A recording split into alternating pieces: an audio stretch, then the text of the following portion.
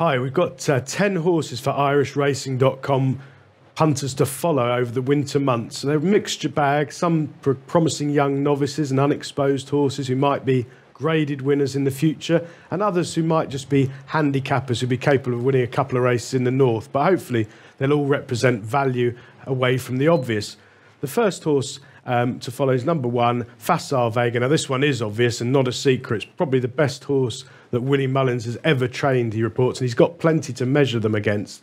Facile Vega, unbeaten in bumpers, won the champion bumper, well back 50 to 8 favourite on terrible ground at the Cheltenham Festival, and followed up at Punchestown. They're going to go straight over hurdles. He's favourite for the Supreme. All roads are going to lead towards that race. I think they're going to be mortified if he gets beaten on the way. And although he's sort of 9 to 4, 5 to 2 for the Supreme Novice Hurdle at this stage, which seems a ridiculously short price, when you're dealing with someone like Willie Mullins, who really knows the time of day with his horses and rarely over eggs the pudding with regards to what they're capable of, um, I think Facile Vega really is one to follow in all the Grade 1 races coming up.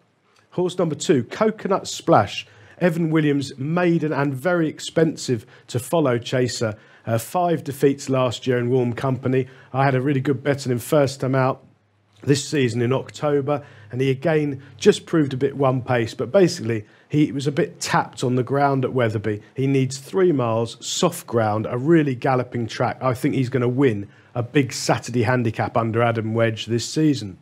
Horse number three, Iron Bridge. Now, this one cost a fortune.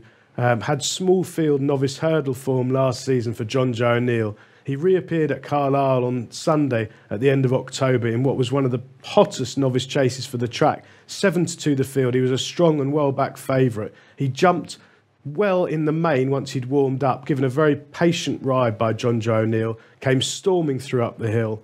The front two were 15 lengths clear of the rest. I think it's form to follow, and I think Iron Bridge is going to be a graded performer in the coming months. Horse number four from the same race at Carlisle, Harper's Brook represents a yard Ben Pauling, um, who Irish Racing did an excellent stable tour of the other day.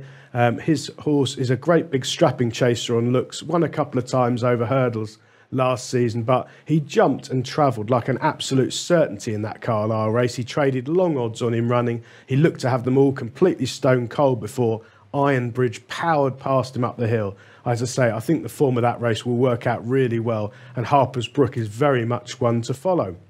Horse number five, Elvis Mail. Now, Elvis Mail's trained by a yard in the north, Scotland, Nick Alexander. He's got some lovely young horses, and Elvis Mail, in his early days, was a real hard puller who took plenty of settling in his hurdles, but he's every inch a chaser on looks. He's much more settled now. He came out and absolutely bolted up in the north at the end of October, jumping superbly. He didn't win by that far in the end, but he was one of those races. If you watch it back and you'd backed him, you sort of knew he'd won for the whole race, and he was in complete command despite only winning by a couple of lengths. He'd probably go up five or six pounds for that, but I think he's the sort who'll hold his own in better company, and I also think he'd probably be seen to better effect when he's ridden with patience in better races on Saturdays.